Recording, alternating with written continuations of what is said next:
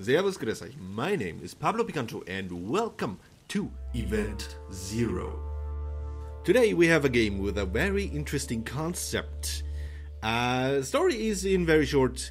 You are stranding somehow in space at a space station and you're trying to get back to Earth. And in order to do that, you have to, uh, yeah, find your way through the station and interact with an artificial intelligence. And uh, the interesting, interesting part about this, you can like type everything to speak with the AI. It's kind of like you know Eviebot and shit. Uh, yeah. Imagine yourself talking to Eviebot and trying to get her to, to do something that you want. That that is gonna be horrible. People are very fond of this game, uh, so I was interested as well. That is why I felt the need to try it out. And uh, now, let's start. We're all obsessed by being someone, something, somewhere. Being in a particular state of consciousness, health, mind, being for and from, being with, being without. You were not an exception. Okay. Kidoki. Oh. And that is the space station. For as long as you could remember, the pronoun that described you best had been they. they? That. Nah, just whatever. You were very particular about it. Was I? Like everybody else, you called planet Earth your home, but you weren't like most of your peers. You spent your childhood in a hippie commune, in a war torn country, in a slum. Uh, none of the above? In, oh. Let's go hippie then. Well, first California, then the United States ceased to exist. The world itself became a hypertrophied commune, both disproving and confirming everything you stood for. Okay, you moved to San Francisco. Those childhood memories, however painful, gave you some solace. They meant you were someone, and you intended to keep it that way. Of course I did. Of course. Armstrong made a step on the moon, and suddenly everyone wanted to be a part of something. You witnessed nation states pop out of existence. Selenites became the privileged class of citizens. They were the minority who had traveled to space. It was hard to reconcile the modern world with your early days in the commune. The United Earth government paid for your college. That's mighty nice of them. You wanted to make a difference, give back to the society, see what the rest of the universe looked like. Hmm. Make a difference, give back to the society. Not sure. Make a difference. That is what most people want. You became a part of the United Earth Safety Supervision Board. The job pulled, uh, proved dull and repetitive. It wasn't long before you needed a change. Soon joined International Transport Space Lines as a flight engineer assistant. You spent years in training before finally getting a shot. An old man wearing a blue flight jacket approached you after one of the mock launch exercises. He presented himself as Kurt Taylor, the president of ITS. Ah, Melissa, it's an honor to finally meet you, Mr. Taylor. Kurt invited you to his office and closed the door behind you. He didn't ask you to sit. Then I kept sitting. He frowned and pointed at the chair forcefully. I asked you here because I wanted someone with your background to be a part of our next mission. Background? I grew, uh, grew up in a commune. Look at you now. You know what Nietzsche said. He who has a why can bear almost any how. I know that, actually. He grinned, clearly satisfied with himself, and asked you to be a part of a mission to Europa. Naturally, you said yes.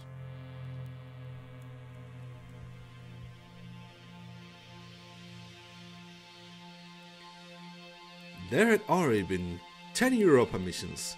The new one was to be called Europa 11. This time, they wanted to send a manned lander down to the surface. You just wanted to be one of the Selenites. I guess I said uh, make a difference, so it's mostly be part of something, I guess. The act of being in itself is not the problem. It's just that some ways of being are incompatible with the others. We get obsessed by them and miss out on everything else.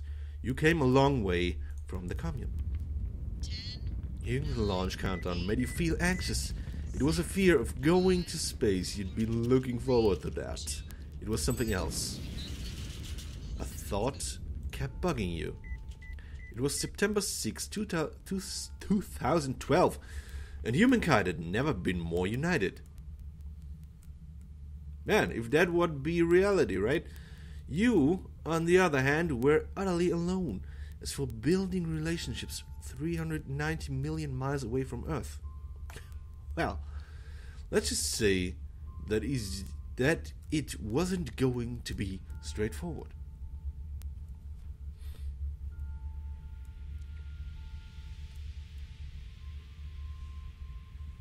Okay.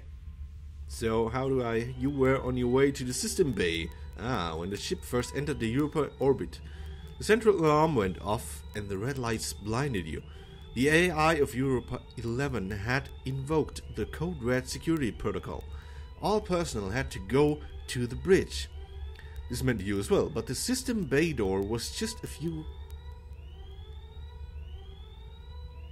Uh. Um. Um. I'm landing there anyway, so. The system door. You said Josh from engineering operating the bay terminal before the system bay door was shut down in front of you. Maybe it wasn't a drill after all. The AI of the ship told you that the path to the bridge wasn't safe and that you had to evacuate immediately. This is not the protocol. What is going on? A synthetic voice said that trying to get to the bridge had been too risky. It wanted you to evacuate. You ran to the escape pod bay. Everybody else turned out to be faster than you. Only one capsule remained docked. It got sealed and detached as soon as you got in. Oh damn. You could see the other escape capsules getting away from Europa 11. You tried to hail them.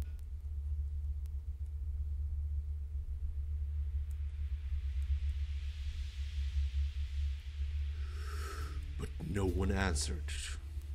The other capsules drifted idly, uncontrolled. They were all empty. Damn. So the AI f- shut. fired every capsule so no one but me could evacuate? You tried to reach the command center. Uh, let's talk with Europa 11 instantly. Maybe it's good to, to place. to have a good standing with the AI Europa 11 was steering your capsule, but you could not get the AI to answer your hail. Something was jamming the signal. Your pod was leaving the orbit. In the Code Red scenario, the AI of Europa 11 was at the wheel of all escape pods. This was supposed to give the crew enough time to get in their EVA suits. The screen turned blue, which meant that the AI had let go. You felt a shock the debris was hitting your capsule. The Europa 11 mission was over. The big dot on the radar has split into hundreds of smaller dots before disappearing for good. You needed a moment to process that. Sent out a distress signal. He said they're not knowing what to do next. Let's fire the distress signal. No one answered. You just kept it running despite the lack of sunlight. If no one found you, you wouldn't need the battery anyway. Cycles went by, you tried to establish communication with someone whistling your favorite Beatles songs into the microphone. One day, you heard back. There was music coming out of the speakers. A sad female voice sang about the end of the world. Ah, you heard it to open the radar app.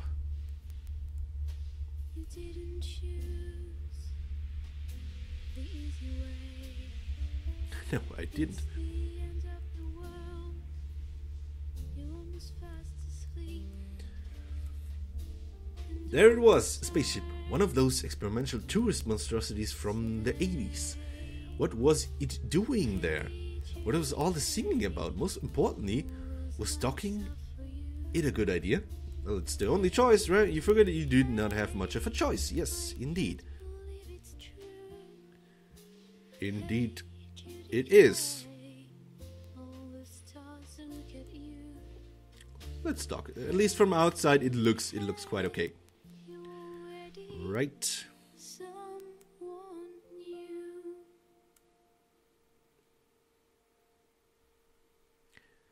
Event zero. Loading.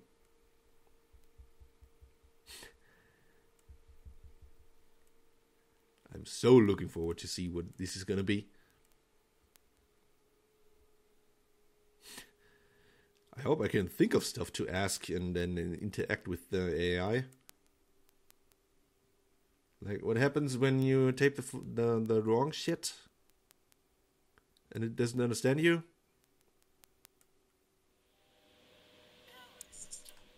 Yep.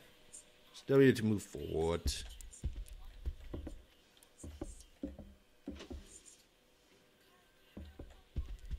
Okay. That is our escape pod then.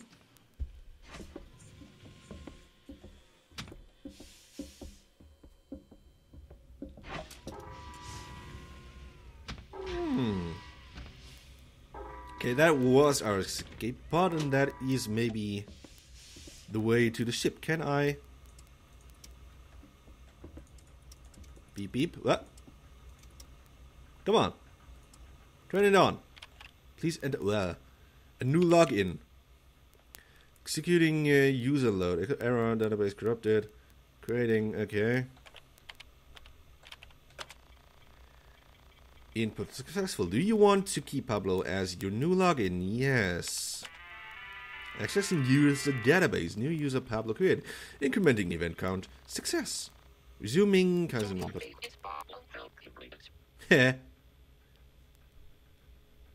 uh, and what's your name? Is it?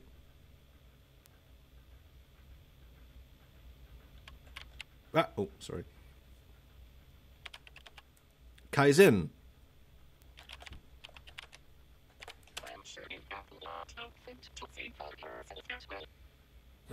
Okay. Um, that she didn't quite understand. Yeah.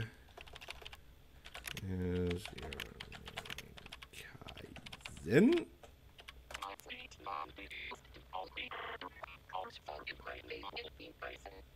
okay, so um. ah, Can you help me? Le- let's go business here. Uh, I, I, I, how to, I am lost in space. Who are you, man? Can, can I please enter the station?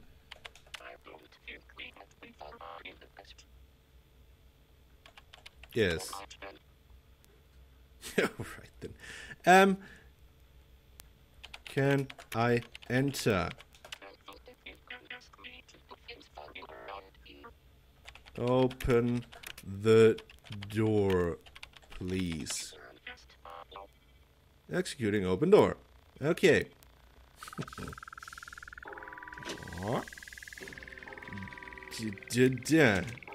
Okay, that didn't go so so so horribly wrong.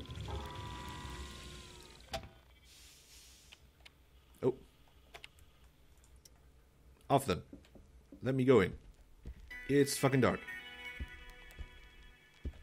Do you dream of distant Uh. planets, stars, and galaxies? Oh, sometimes. Crave real adventure? Are you Yeah. ready for the most transformative experience of your life? The Yes. ITS Corporation, leader in space transportation and hospitality sector, offers a unique opportunity to become a true pioneer in universe exploration. Ow! This fall, we're How cool. the Nautilus program, luxurious space yachts and cruisers. Touch the stars without having to sacrifice your comfort. No more I wonder when this is uh, gonna be a thing. International in reality. space. Comfort out of your comfort zone. Space holidays. That would be quite awesome to experience once. Wow! ITS. Oh.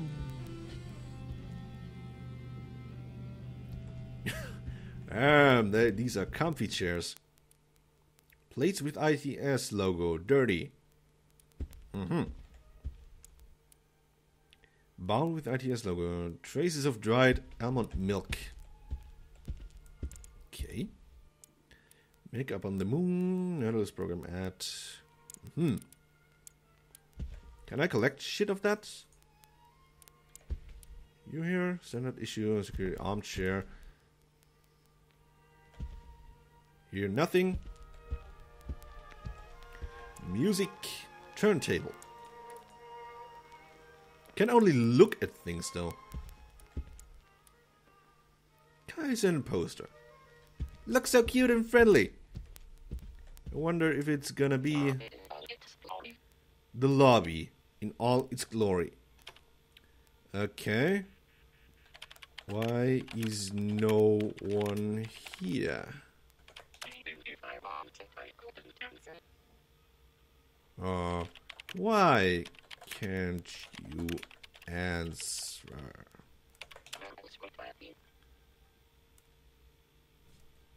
Okay, okay. Fuck you. So.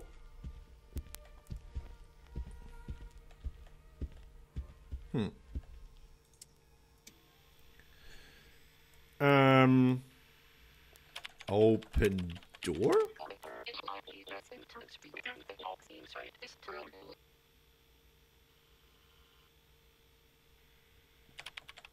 That's one. Uh, that, that was not an answer. Please open the door.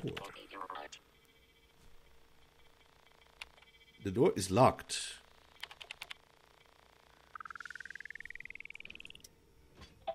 Okay, not locked anymore. That. Oi! Not funny. Not funny at all. No.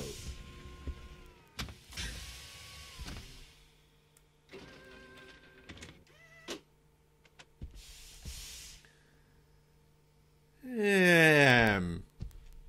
Okay, what, what, what, what, what exactly? Is this your sense of humor?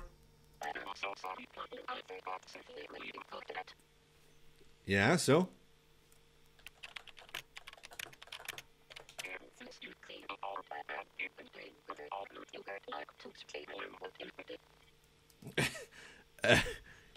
Yes.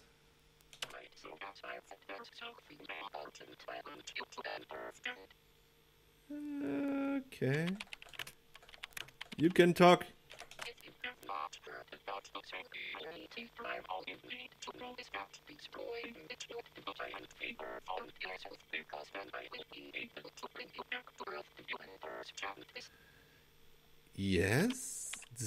The singularity drive.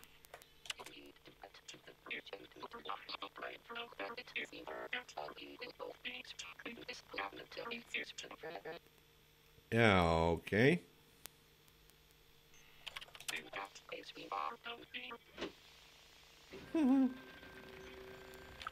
Why do I need to destroy the drive?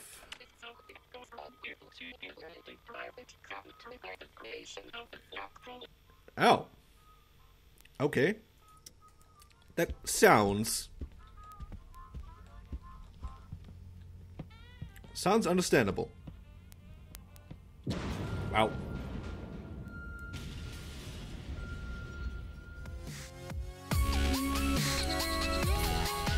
This way.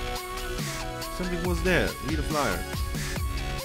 Welcome to Atlantic Island Park. When I first came to visit, all was clear. That's too much to read. I don't. Hey, boy. Something special about